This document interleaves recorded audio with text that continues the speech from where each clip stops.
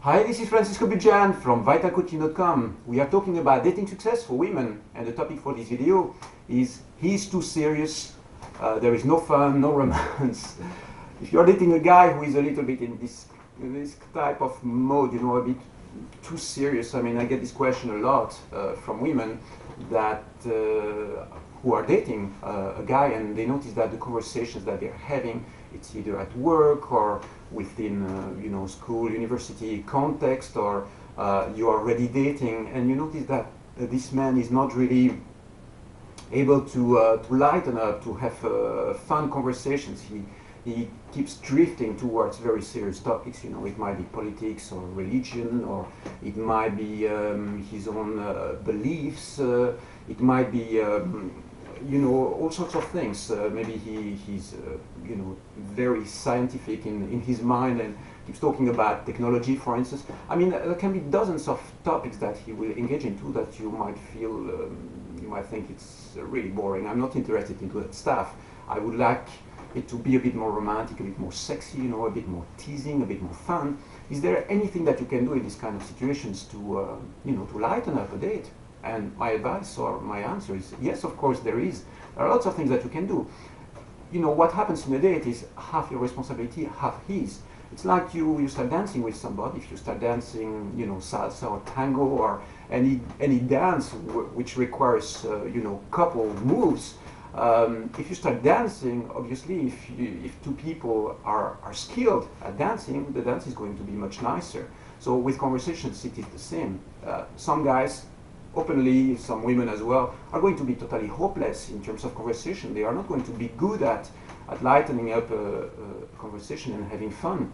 So, but, you know, in any situation you are in, if you want to give it a try, the best thing to, to, to do is to, uh, to, to bring in topics or approach a conversation or approach the way you relate to him in a way which is much more fun, uh, sexy, you know, uh, oriented. So what can you do to, to do that, you know, to, to bring this lightness in the conversation?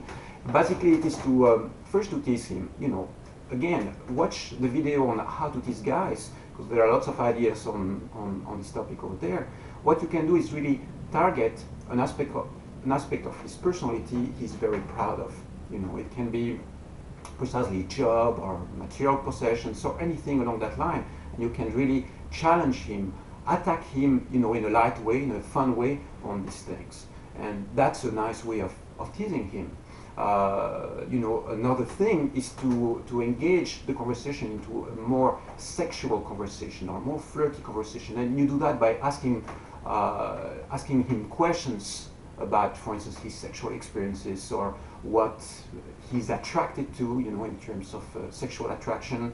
Um, you can also, uh, you know, ask him more teasing and, and, flirty questions, like, for instance, would you have a threesome? You know, in what circumstances?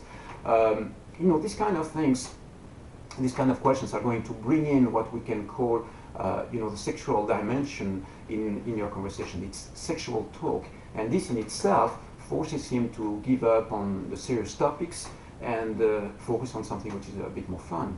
You know, many guys out there would love to talk about these things, but they are not too comfortable with engaging into this conversation. They are going, they feel they might be of, offending you if they talk about it, so they keep it, uh, you know, for, for themselves. Also, it's a nice way to, to stay within a protected area, you know, comfort zone to talk about these very serious topics.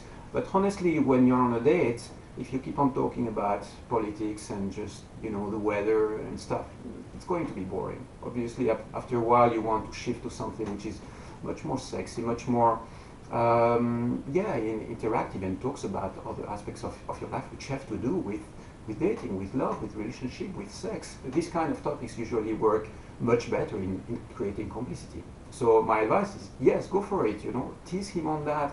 Uh, ask him very direct questions and um, I'm sure that he eventually will open up and start talking about it a, a little bit more.